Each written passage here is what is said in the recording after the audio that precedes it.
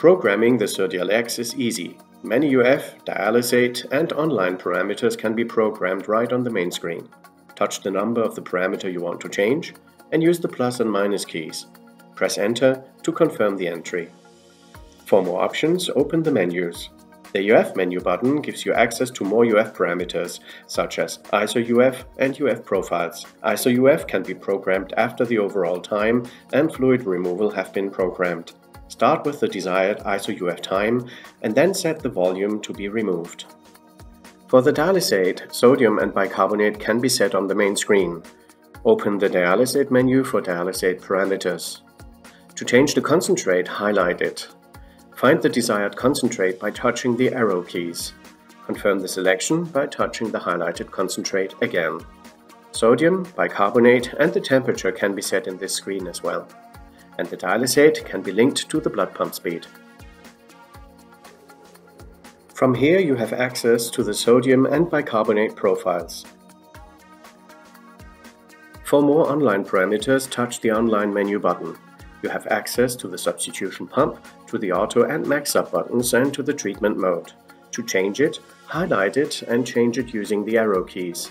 Confirm your selection by touching the highlighted mode again. During treatment, you have access to the bolus in this screen. To set the BBM parameters, press Function to get to the BBM menu.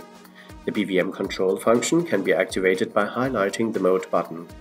Use the arrow keys on the right to set the desired mode, then confirm by touching it again.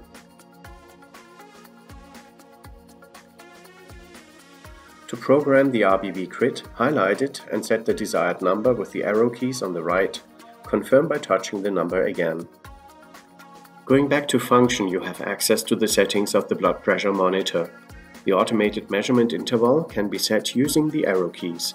Confirming the set intervals is not necessary. Blood pressure limits can be defined here.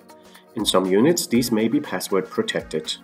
To change the limits, highlight the number and use the arrow keys to set the limit, then confirm by touching the number again.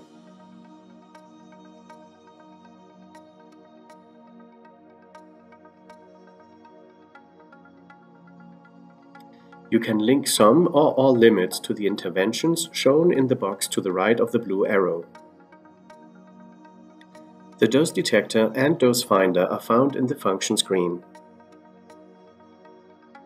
Highlight a parameter and change the setting using the arrow keys on the right. Confirm the setting by touching it again, then continue with the next.